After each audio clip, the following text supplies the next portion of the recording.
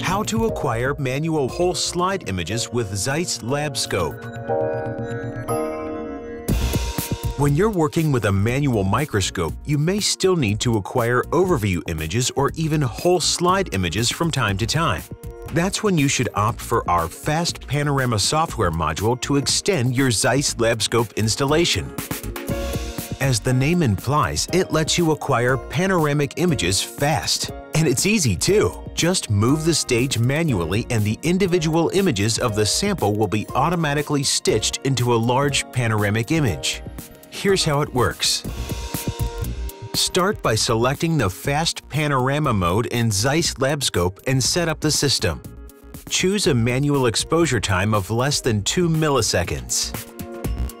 You might need to increase the light intensity of your microscope at this point. Then do a manual white balance to improve the visual stability for the panoramic image. We also recommend a shading correction for the objective you will be using. Spend just a little bit of time on preparation and it will reward you. Now you're ready to focus your sample and click on the Fast Panorama button to start the procedure.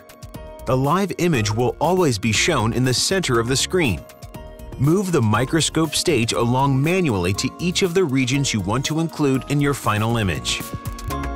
As you do this, the module is constantly taking images of the specimen, building up the panoramic image that is displayed at the top left. Make sure to leave a small overlap with the previously captured image for better stitching accuracy. And then when you've finished acquiring your panoramic image, save the result. You are now free to zoom in and out, pan through your image, and share your results. It's that simple, that fast, and that powerful. For further information, visit our website